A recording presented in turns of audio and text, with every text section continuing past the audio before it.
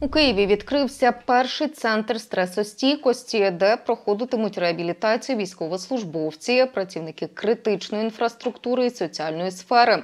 Як отримати безкоштовну психологічну консультацію, розкажемо в наступному сюжеті.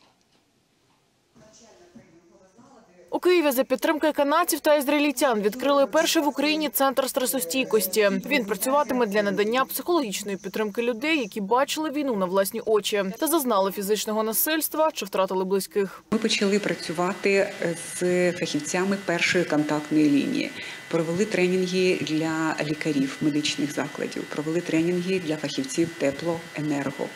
Від них був запит для психологічного відновлення їхніх фахівців, тому що були прильоти. Ви знаєте, куди були перші прильоти, і вони до нас звернулися з проханням провести групові тренінги, групові психологічні консультації для фахівців, для людей, які навіть після прильотів мали виходити завтра на роботу і залишатися в ресурси і тримати місто. Наразі у центрі стресостійкості задіяно 15 психологів, які працюють з ментальними розладами. Всі експерти центру вчилися у психологів з Ізраїлю, які вже понад 20 років практикують роботу з людьми в критичних ситуаціях. У самому ж центрі для прийняття пацієнтів облаштовані тренінгові кімнати, локації для сімейних та індивідуальних консультацій. є психо там едукація, психотерапія з нашого боку, і паралельно психіатрична допомога, медикаментозна допомога, тому що іноді це потребує стаціонару.